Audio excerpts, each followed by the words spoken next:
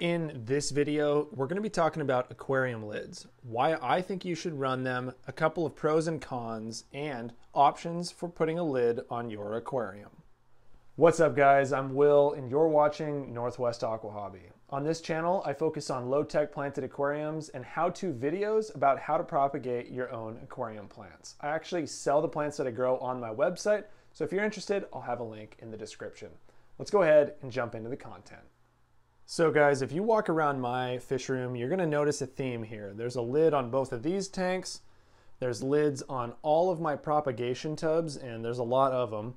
And then I've got a lid on this propagation tank over here as well. Come over here, I also have a lid on this container. I don't have one on this one, but then if we come over here, I've got a lid on this container, which is uh, staged and ready to be planted with a new setup. The point is there's a common theme here. I run lids on pretty much every type of container that I have, whether it's a planted aquarium or a propagation setup like I have on my grow rack over here. And guys, this leads me over to why I recommend running lids on your planted aquariums. And that's also a perfect segue into the pros about running lids on your aquariums as well.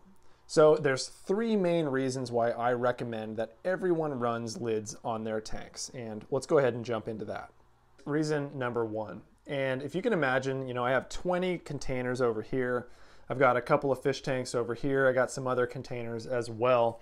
And if all of those were, you know, open to the air in this room, this room would literally be like a tropical rainforest. It would be so humid that I would likely have mold. You know, it would be bad news. You don't want that. So if you guys have, you know, more than a single aquarium or a couple, then you're going to need to have lids just simply to limit the amount of evaporation into the room that you have. And uh, this this may not seem like a big deal. You know, if you have one or two tanks, you probably don't have to worry about it. But if you have several tanks or you have your own grow setup, you really do need to have lids on your setups for a number of reasons. And one of those is just due to humidity reduction in the room.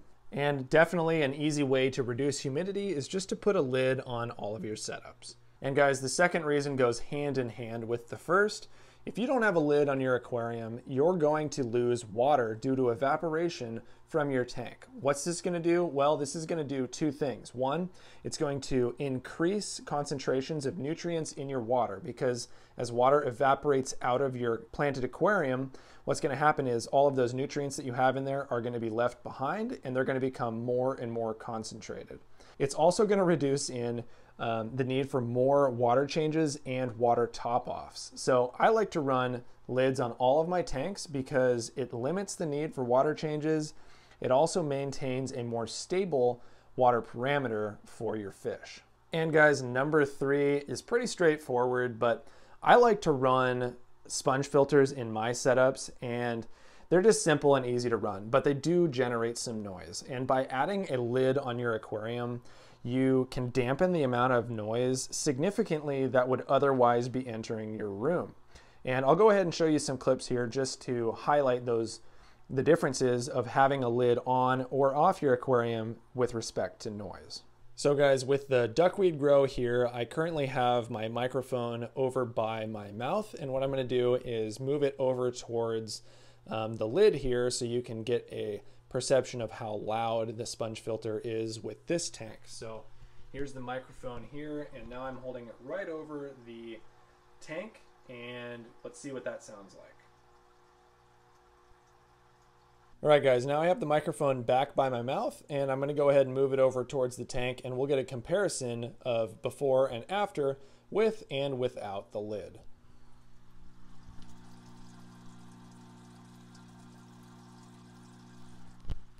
So guys, that may not seem like a big deal, but if you're running a number of tanks, whether it's two or 10 or who knows, 20, um, this can result in a significant amount of noise increase cumulatively throughout your fish room.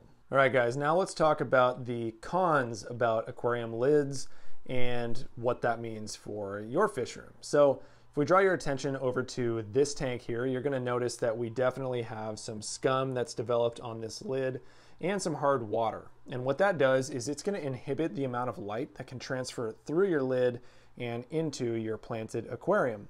And obviously you want to get as much light into your aquarium as you can, or at least you don't want to inhibit the amount of light. So you want to have complete control over the light that's entering your setup. This is not a huge deal though. It's pretty easy to maintain these lids. Uh, all you got to do is give them a scrub with a, a, sponge and that will clean up no problem. This tank is definitely due for a lid cleaning, but like I said, it's pretty easy to clean that up. If we draw your attention down here, this lid on the other hand is in pretty good shape. It doesn't really need a cleaning at the moment. And as you can tell, the, the duckweed in here is definitely illuminated. And in my experience, a clean lid really doesn't do that much to affecting plant growth. And a second con is that lids can be kind of expensive. Um, I really like the Aqueon brand of lids, and I'll have a link in the description to Amazon if you guys want to check that out. That is an Amazon affiliate link, so if you're interested in picking up a lid like this, you can do so through that link, and I'll get a small commission if you shop through that link. Um, I do recommend them, but they are kind of pricey. But that's not to say that there aren't cheaper options. In fact, you can actually just get polycarbonate panels that would be used for greenhouses and you can cut your own lids. All you got to do is take some measurements from your length and your width and then get the appropriate size sheet of polycarbonate paneling and then cut it to, to shape. Um, one sheet is going to be pretty cheap and you can actually do a number of tanks for a fraction of the cost of one of these glass lids. Although I do recommend these if you can afford it. And finally, guys, the last reason why you might not want to run a lid in your aquarium is simply just due to the aesthetics. And if you look in this tank here, I mean, that's definitely kind of detracting from the look of this overall tank. So what I'm gonna do is we're gonna look at this angle here. You can see the lid currently. And then what I'm gonna do is take that off and we'll see a before and after look. And you can really see a difference, you know? I don't mind lids, but other people certainly do. So let's go ahead and take the lid off and take a look now. Okay, so here is this tank without a lid, and now you have a, an entirely different experience viewing the tank from the top. I certainly can appreciate the look of all the Anubias in here and the fish. Um, but you know, that can be definitely mitigated to a certain extent just simply by cleaning a lid and keeping it clean. Um, but obviously that, that also does entail some work.